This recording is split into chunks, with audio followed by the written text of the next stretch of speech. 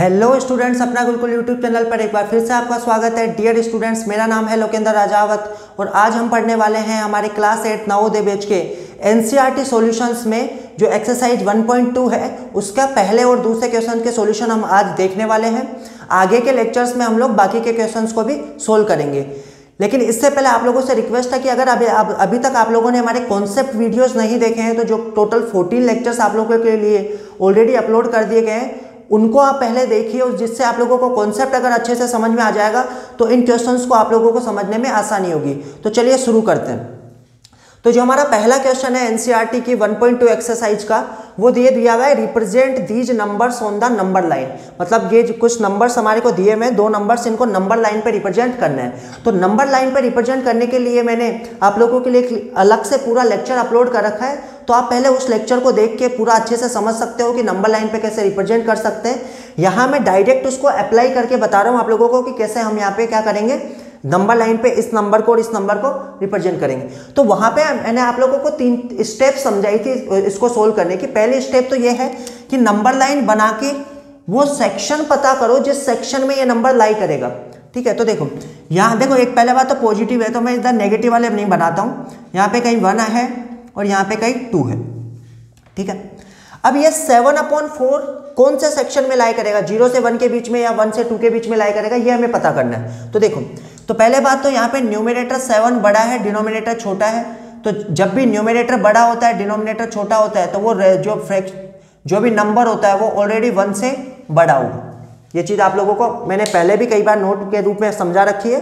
तो आप इसको इस तरीके से क्या कर सकते हो या आप अंदाजे से भी लगा सकते हो, भाई फोर वन जा फोर होगा। अगर सेवन की जगह एट होता तो टू टू आता। और अगर फोर होता तो कितना आता? वन आता। फोर वन जा फोर, एट टू जा फोर हो जाता। ठीक है? लेकिन ये सेवन है, जो कि फोर और एट के बीच में है। मतलब इसका रिज़ल्ट वन और, यानी वन से तो बड़ा होगा, लेकिन टू से क्या होगा? छोटा होगा। तो मतलब ये समझ में आ गया हमारे को कि वन और टू के बीच में कहीं ना कहीं लाई करेगा। फिर स्टेप वन ये हमारी खत्म हो गई सेक्शन पता कर लिया हमने। स्टेप टू में क्या करते हैं, इसका जो डिनोमिनेटर्स है डिनोमिनेटर जो दिया हुआ है डिनोमिनेटर के बराबर उस सेक्शन के टुकड़े कर लेते हैं हम लोग। तो इसके चार डिनोमिनेटर चार है तो इसके चार पार्ट्स कर लिए हमने। अब देखो, ध्यान से समझना, इस वन को मैं क्या बोल सकता हूँ? क्या इस वन को मैं फोर अपॉन फोर बोल सकता हूँ? मैं फोर अपॉन फोर ही क्यों बोल रहा हूँ? इसका भी कारण क्या है? क्योंकि यहाँ पे डिनोमिनेटर कितना है? इस एट को क्या मैं एट अपॉन फोर बोल सकता हूँ? इस टू को। क्यों?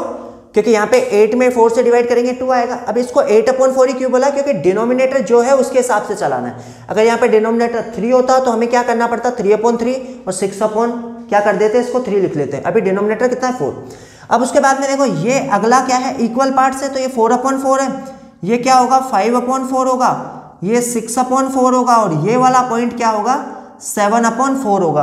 और हमें देखो क्या करना है? सेवन अपॉन फोर ही तो रिप्रेजेंट करना है। तो ये जो सेवन अपॉन फोर है, वो हमारा क्या होगा? कहीं ना कहीं वन और टू के बीच में यहाँ पे लाई करेगा। आई होप ये चीज़ आप लोगों को समझ में आ गई होगी। सिमिलर इस क्वेश्चन को हमें सोल्व करना है। तो देखो इसके नंबर वैल्यू को अगर देखें माइनस को भूल जाते हैं तो फाइव अपॉन सिक्स में क्या है? फाइव छोटा है सिक्स बड़ा है। यानी न्यूमिनेटर छोटा है डिनोमिनेटर बड़ा है। और जब भी न्यूमिनेटर छोटा है डिनोमिनेटर बड़ा होता है तो उसका रिज़ल्ट वन से छोटा निकल के आता है। ठीक है? यानी फाइव अपॉन सिक्स को अगर अकेले फाइव अपॉन सिक्स को देखें तो वन से छोटा है। लेकिन ये नेगेटिव है।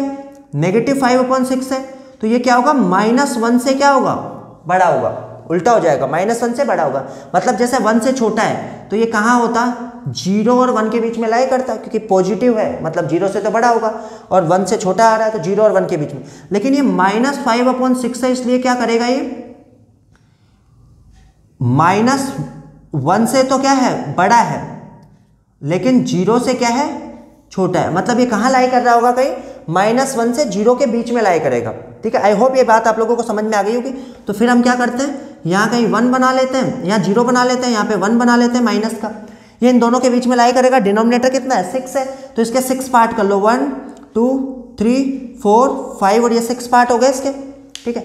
अब इस सिक्स को, इस ज़ीरो को क्या लिख सकते हैं? ज़ीरो अपॉइंट सिक्स इसको क्या लिख सकते हैं? माइनस का सिक्स अपॉन सिक्स फिर ये कितना बनेगा? वन अपॉन सिक्स माइनस का, ये कितना बनेगा? माइनस का two upon six minus three upon six minus four upon six और माइनस फाइव अपॉन सिक्स और माइनस सिक्स अपॉन सिक्स यानी कि सिक्स में सिक्स से डिवाइड करेंगे वन आएगा तो इसका रिज़ल्ट कितना आएगा? अब हमें क्या करना है?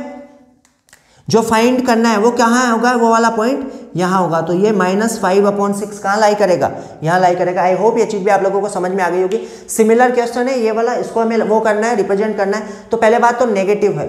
साथ में क्या है? न्यूमिनेटर क्या है? अगर हम इसको ओनली इसको देखें टू फाइव और नाइन को, ठीक है? अगर इसको देखें तो ये सारे के सारे इलेवन से छोटे हैं। मतलब इसका जो रिज़ल्ट होगा, वो अगर नेगेटिव होगा तो किसके बीच में करेगा? माइनस वन से बड़ा होगा और ज़ीरो से छोटा होगा। मतलब ये तीनों के तीनों जो नंबर्स हैं, कौन से? Minus two upon seven minus five upon seven और माइनस नाइन अपॉन सेवन ये किसके बीच में लाई करेंगे? ये। भाई इससे बड़ा होता मतलब यहाँ पे न्यूमिनेटर अगर बड़ा होता डिनोमिनेटर से तो ये इससे इधर आता। और अगर ये पॉजिटिव होते तो ज़ीरो से बड़ा होता, लेकिन अब वन से भी बड़ा होता।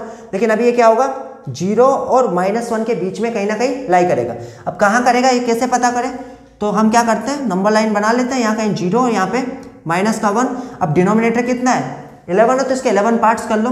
One two three four five six seven eight nine ten और इलेवन हो जाएगा यहाँ पे। तो ज़ीरो को क्या लिख सकते हैं हम? ज़ीरो अपॉन इलेवन और माइनस वन को क्या लिखा जा सकता है? Minus eleven upon eleven eleven बन जाए इलेवन और माइनस का वन है तो माइनस का वन आ जाएगा।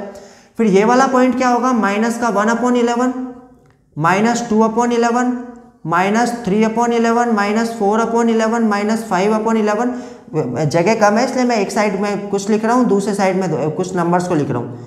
Minus seven upon eleven minus eight upon eleven minus nine upon eleven और माइनस टेन अपॉन इलेवन और माइनस इलेवन अपॉन इलेवन अब हमें किस किस को रिप्रेजेंट करना है? उसको हम देख ले, देख लेते हैं। माइनस टू अपॉन इलेवन तो कहाँ बनेगा? यहाँ बनेगा।